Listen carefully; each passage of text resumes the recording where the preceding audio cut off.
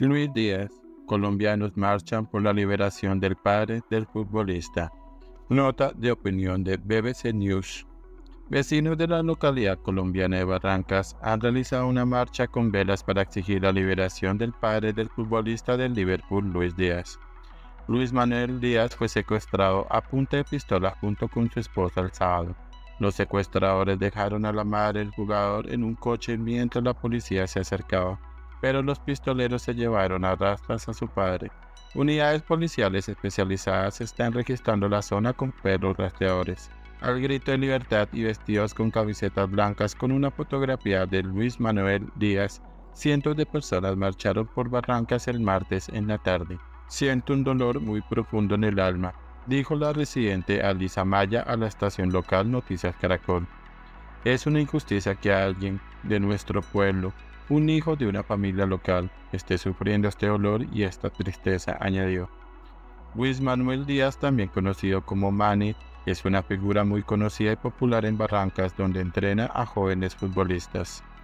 Las imágenes de CCTV difundidas por los medios locales parecen mostrar a hombres en motocicletas siguiendo el coche de la pareja justo antes de que fueran incautados en una gasolinera de Barrancas el sábado. El subjefe de la policía colombiana, general Nicolás Zapata, dijo a los periodistas que cuando pasa algo así no es espontáneo, hay una planificación previa. Las autoridades colombianas han intensificado la búsqueda de Luis Manuel Díaz. Barrancas está ubicada en la provincia de La Guajira, en el extremo norte de Colombia, zona donde operan varios grupos guerrilleros y bandas armadas. La policía y los soldados están centrando su búsqueda en las montañas de Perijá, un denso bosque que se extiende a ambos lados de la frontera entre Colombia y Venezuela.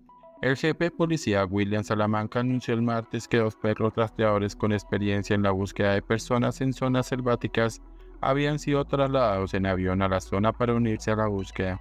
Unidades policiales de élite están utilizando helicópteros y aviones equipados con cámaras de búsqueda de calor para sobrevolar el bosque. También han lanzado folletos con una fotografía de Luis Manuel Díaz y la oferta de una recompensa de 200 millones de pesos, 50 mil dólares, 40 mil libras esterlinas por información sobre el paradero de Luis Manuel Díaz.